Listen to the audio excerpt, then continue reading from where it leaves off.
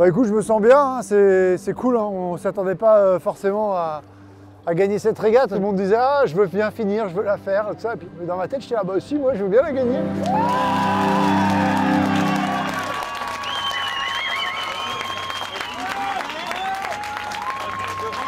Maintenant, euh, elle est pour nous. euh, C'est une belle récompense pour tout le monde, pour nos sponsors qui ont remonté ce projet d'une page blanche, pour euh, toute l'équipe qui a construit ce bateau, conçu le bateau. Et euh, belle opportunité pour la suite de, de valider tout le travail accompli et de passer dans, la fiabilisation de ce bateau en vue du Vendée Globe. 10 secondes. 5,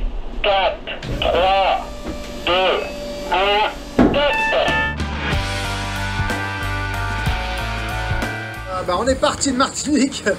C'était euh, c'était sympa euh, dans les molles, les grains. euh. en tout cas, c'était très beau, super spectacle, même quand on était à bord. On est dans la passe entre la Martinique et Sainte-Lucie.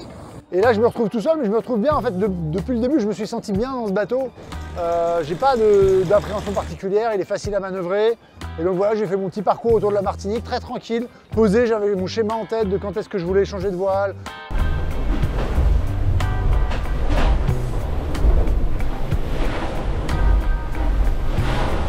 j'ai un peu euh, déroulé mon, schéma euh, tout du long et ça c'était top et c'était agréable. Ça a été un petit peu le cas euh, à chaque fois. Et puis quand je perdais, ben écoute, je m'enflammais pas. Je me disais bah ouais, écoute, voilà, t'as perdu, et puis on, on repart à la bataille.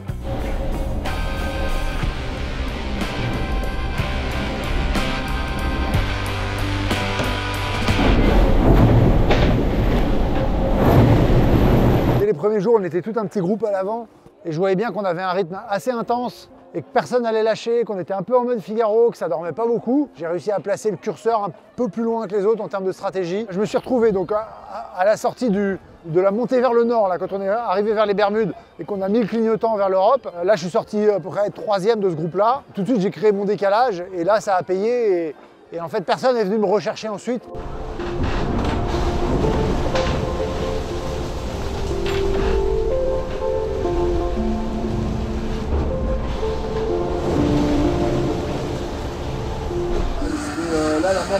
Le vent est fort, il y a des grains qui passent. Et du coup, je suis obligé d'avoir euh, une configuration de voile euh, polyvalente et euh, un peu conservatrice. Je suis monté au nord aussi pour en apprendre plus sur ces conditions-là et pas être avec les autres dans des conditions entre guillemets un peu plus faciles. Le petit lever de soleil qui fait du bien. La nuit a été longue. J'ai réussi à dormir en début de nuit, mais alors à la fin, des gros plantés, le vent est monté un peu plus fort que prévu. Là, je suis bien cramé, mais bon, j'ai le jeu de voile euh, pour aller au moins jusqu'aux Açores. Ça, c'est cool. J'ai réussi à mettre le curseur un petit peu plus haut, et pour eux, c'était dur d'aller me chercher. Un, petit décalage de 100 000, en gros, a quasiment scellé la victoire euh, il y a, a- il y a 5-6 jours déjà. J'avais jamais vu le bateau dans ces conditions-là de mer avec euh, 4, 5, 6, voire 7 mètres de mer. Dernière 30 heures de nave. Euh, on est en approche de la France. On va avoir une nuit assez euh, intense. euh, avec 35 à 40 nœuds sur ce bord là qui amène à un empannage. Et au point d'empannage là, euh, ouais, toujours très venté. Donc une arrivée samedi après-midi à Lorient. Ça va être chaud donc il faut quand même que je fasse attention à moi et au bateau pour l'arrivée, pas faire de bêtises.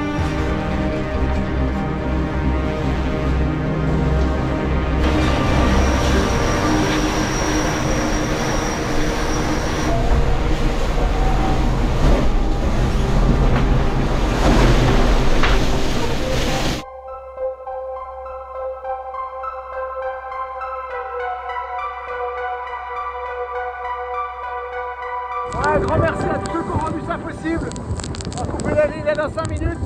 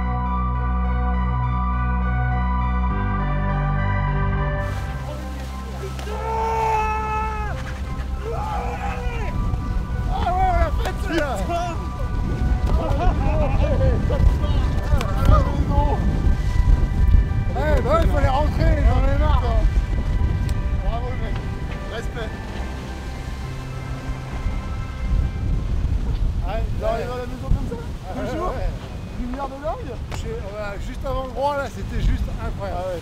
Ah, même. Ça mon gars Bien joué man. Content pour moi, pour l'équipe. C'est quand même euh, l'aboutissement d'un beau, euh, d'un beau projet.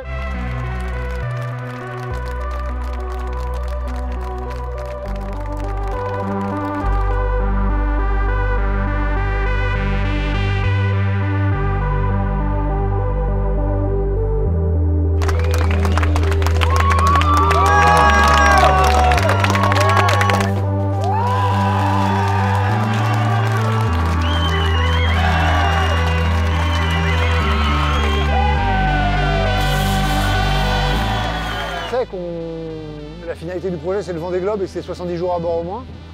Euh, donc il faut se projeter dans cet euh, univers-là. C'est honnêtement pas évident parce que c'est- réellement ingrat.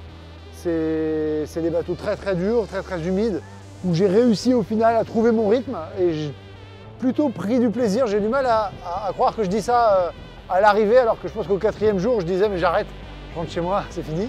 Et c'est tout le problème de ces bateaux-là, c'est que ben, on les aime et on les déteste.